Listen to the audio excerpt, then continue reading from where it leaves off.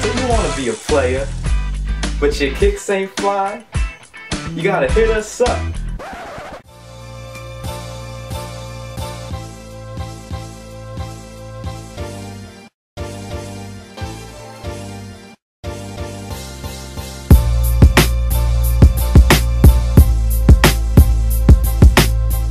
Yo, what's going on everybody? Thank you for tuning in and thank you for watching.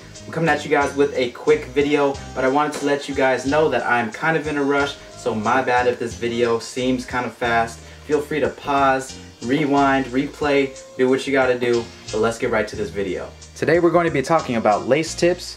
First of all, if you want to purchase anything in this video or if you want to check out the site to see what colors we have available, go ahead and check out Angelus Direct website. You will also be able to find that website down below in the description. The pair on the right is looking super clean, super icy, bling blinged out. It just looks like money, sonny.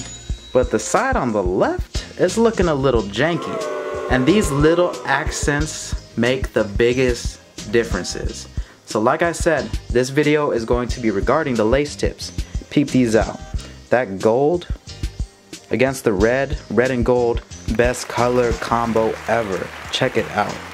They look flashy.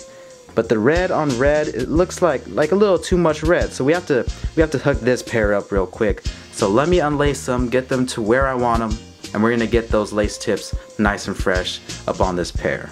Let's get it.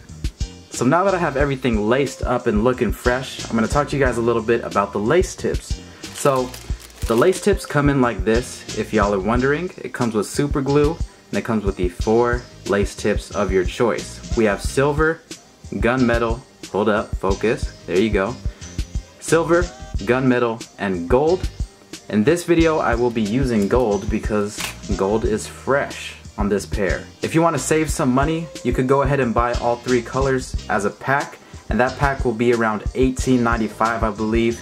And if you buy these packs individually, it's $8.95. So you do the math, you will save some money if you buy everything in a whole pack. So what I'm gonna do is uncap this uh, super glue bottle we have right here. And it's super self-explanatory. All you need to do is just squirt a little bit of glue up inside the aglet.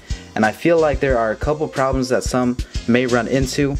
So I'm going to address it real quick. First of all, we're not to put a whole bunch of glue up in this. You don't need a lot of glue. As you can see, I'm putting in one, two, three, four. Let's go four drops.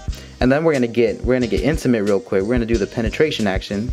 Oh yeah. Make sure you dip, you dip it in, and you get that pull out game real quick. Oh god. And then we're gonna let that sit when you when you penetrate you make sure that you get the glue all up on the inside you feel me so that's what that's doing and then I would refrain from doing this just because I feel like it's going to be a problem for a lot of people because they might mess up but I'm gonna do it for my pair and it's optional if you want to do it for yours just make sure you get a little bit of glue up on the the lace tip and be careful because you do not want this lace tip to touch the shoe when it has super glue on it. But now that you have super glue on a part of it, you're gonna slip this thing on again with the penetration action. And you're gonna you're gonna penetrate it with the lace. Like so. And make sure you let this dry, just let it sit so the glue can bond to your lace tip so it doesn't fall off. And you'll be good to go. Oh yeah, one more thing, you want to let these dry for about two hours. Don't start pulling them or anything like that because the glue might still be bonding, so let it sit for a good amount of time. Now that the lace tips are installed, I want to share one last tip for you guys.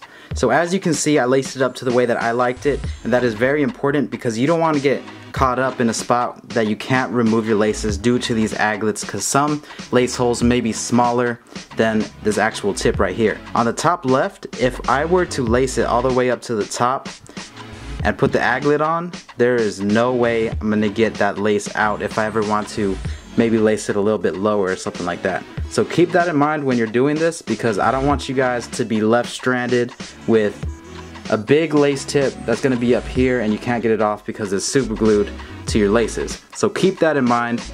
Other than that, I think it's a very, very easy install and a great deal to make your kicks look super clean, super fresh, and give it that kind of unique, flashy look. Can I get a thumbs up for that intro though? Let me know what you guys thought in the comments down below, and I'll catch you guys next time. It's Sneakerhead in the Bay. I'm out. Peace.